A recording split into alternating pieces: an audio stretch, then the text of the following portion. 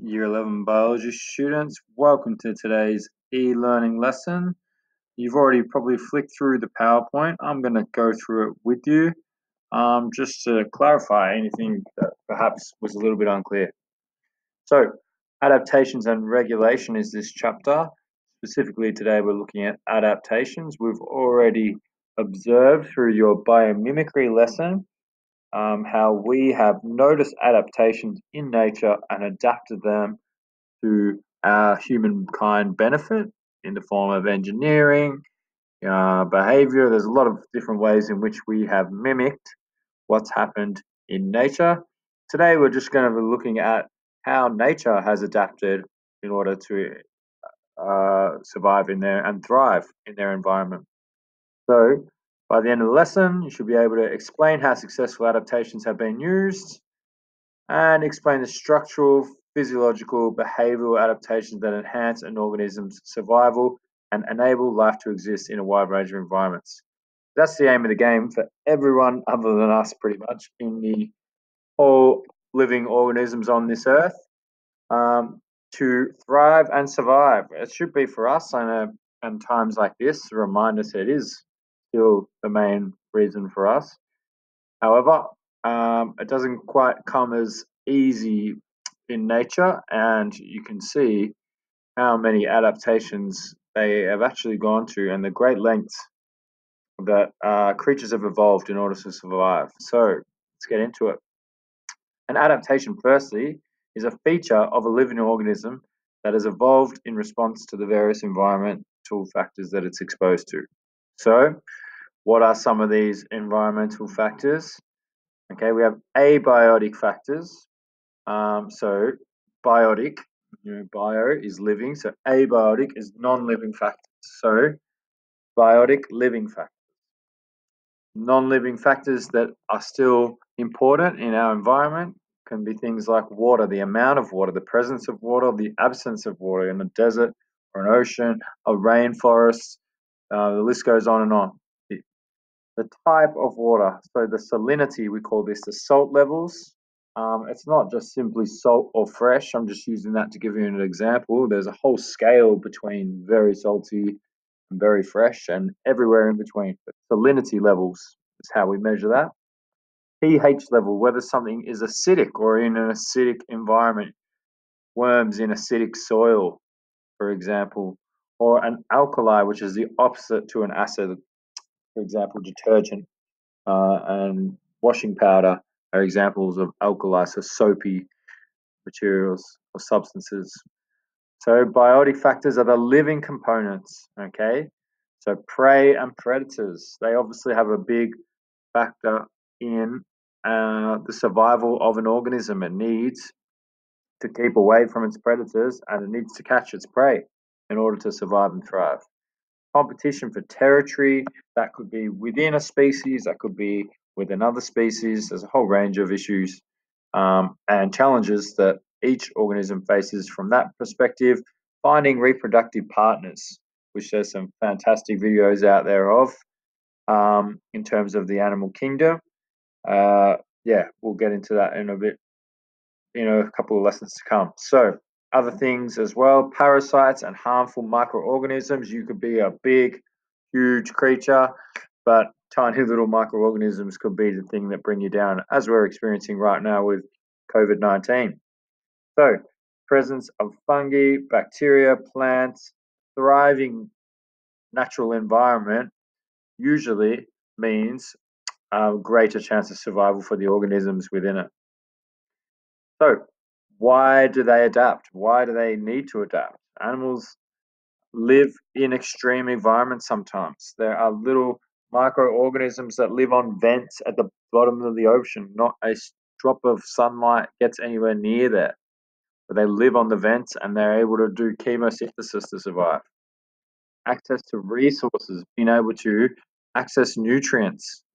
Is incredibly important, and animals will adapt in order to make that easier for themselves reproduce.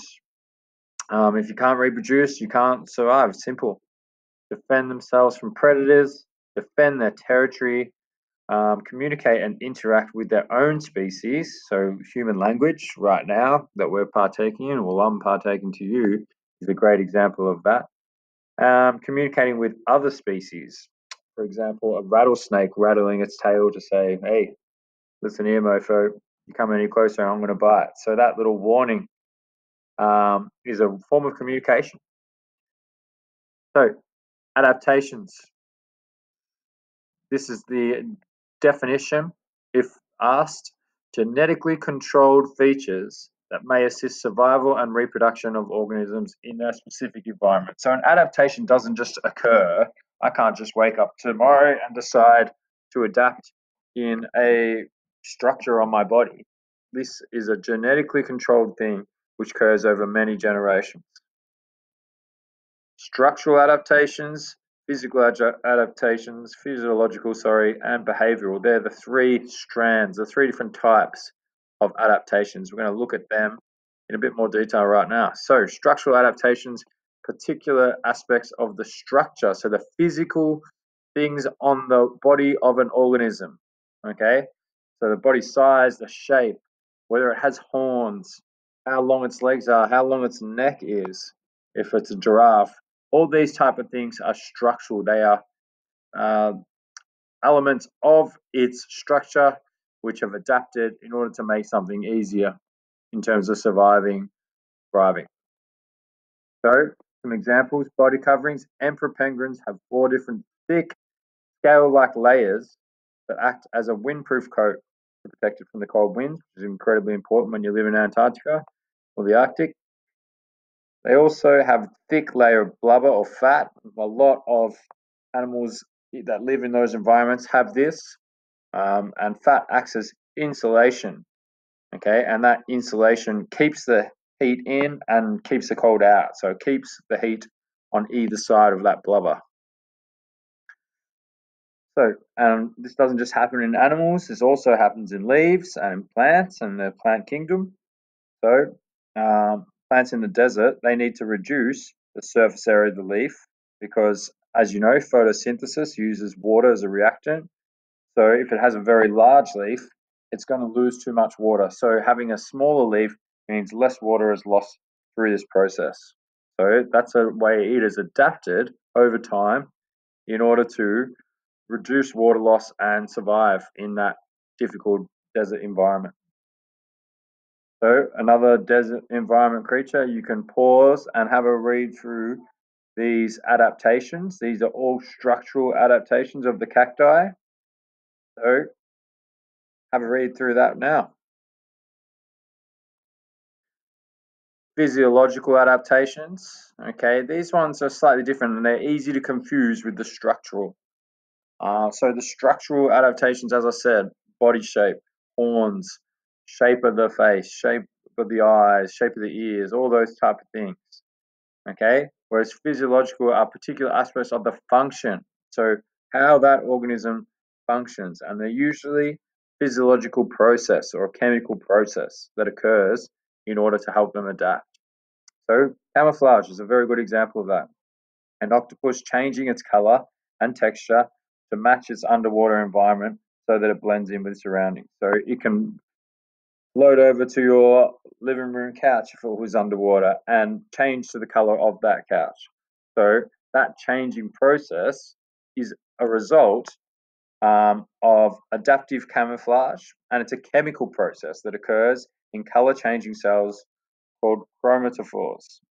So this is something that happens um, and can change based on the chemicals that it releases incredibly high level adaptation there. So that's not to be confused with um, structural camouflage, for example, in a pattern on a leopard. That doesn't change. Okay, that's not a physiological process that changes in a chemical process. Um, that is the structure that is on the pattern of that animal. So watch this video um, of a cuttlefish an incredible cuttlefish, um, trying to mimic some very difficult, um, trying to camouflage, sorry, some very difficult uh, backgrounds and doing a pretty good job of it. Um, here is another physiological uh, adaptation. Some fish that inhabit very cold water um, will, they will die if their blood freezes. So they have antifreeze proteins, similar to those produced by plants, which circulate in the blood of the fish and prevent the growth of ice crystals. If its blood freezes, its heart will stop, it will be dead. So having these antifreeze proteins gives it an adaptation that allows it to survive in cold waters that otherwise, without that adaptation, it wouldn't have. This is my favorite. Please click on that video because uh, this thing has managed to adapt so that it has a light, maybe 30 centimeters in front of its mouth, swimming at around at the depths of the oceans, the anglerfish, um, not having to work very hard for food at all, just turn the light on um, by bioluminescence, which is also a video on, um, which is a chemical process in where it can produce light, as you can see in that photo and producing that light um, allows it to attract prey right in front of its mouth. Could not be any easier than that. So, behavioral adaptations, the last one. Uh, behavioral adaptations are activities that an animal performs in response to internal and external stimuli. Now, remember, stimuli is something um, in the environment, external stimuli is something in the environment which causes it to act um, in a particular way for a behavioral. Internal, uh, a change internal. So, for example, overheating um, would be uh, internal uh, stimuli that it's reacting to. All right, so some examples uh, seeking or leaving shelter. All right, in, if it's hot, finding shade, physically going, there is some shade over there, walking over to it, um, and being in the shade in order to cool down. That is a behavioral adaptation. Likewise, if it's very cold, cold blooded animals in particular, reptiles, um, snakes, they will find heat. They will find a hot rock to lay on and, and soak up as much of that heat as they can in order to keep themselves alive and well. So that is behavioral adaptation. A dog panting, um, and the the method of the panting is to cool down the body by evaporated cooling. So, by allowing the heat out of the dog's mouth and on the dog's tongue to evaporate off, cools down the body temperature of the dog. Okay, which is again a behavioral adaptation. Huddling, another example, body warmth, creating a insulation, a group insulation. That is a behavior. They need to perform that doesn't just happen from one doing it by itself. They all need to partake in that behavior. Um, this doesn't just happen in animals. We also have plants. So tropism, plant growth in response to environmental factor. Okay, so plants will grow either positive tropism, which is where the plant grows towards a stimulus that is positive for its growth. For example, if there's water, um, its roots will reach out to that water. That is positive tropism. Um, and likewise, if there's light, will grow its leaves towards the light um, in order to increase that growth, you know, like a rainforest. Um, but it can also grow away from a stimulus, which is negative tropism. And the reason being for that is, for example, in the desert again, um, if it's too hot and it's losing too much water, then it will grow uh, in a direction away from that extreme heat in order to protect itself from too much water loss. Okay, watch these videos of the polar bear. I'm going to pause this. I would suggest that you pause this and watch those two videos. Okay, so some adaptations there they are listed there. Small ears um, helps reduce heat loss. So this is the reason for each adaptation. Taking it a little bit further. Okay, we know what the adaptation is. Why? Why? Why does it have that adaptation? Thick, greasy fur, insulation. White fur, camouflage from prey. Large feet to spread body weight across the snow. If it had only a small um, point of contact, it would probably go uh, through the ice. So by spreading out the paws over a larger surface area, it spreads out the weight and less likely to go through. Uh, black skin absorbs any heat transmitted through the hair. Okay, and uh, body surface area is small. We already know this importance of surface area to volume ratio. So, camels.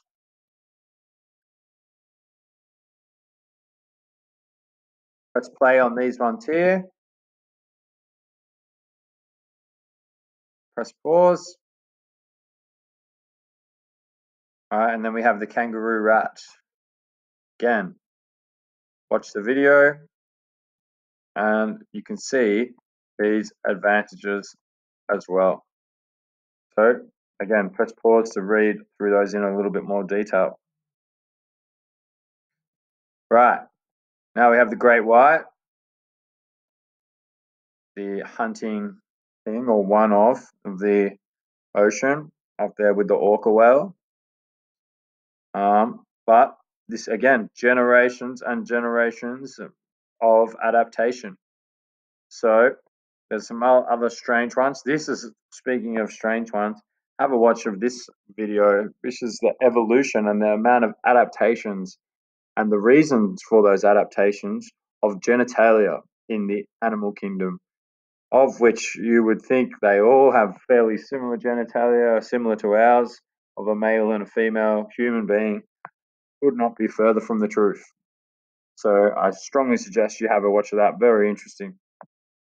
All right, and this is the activity I'd like you to complete today. So have a go at that and shoot me if you have any questions. Bye.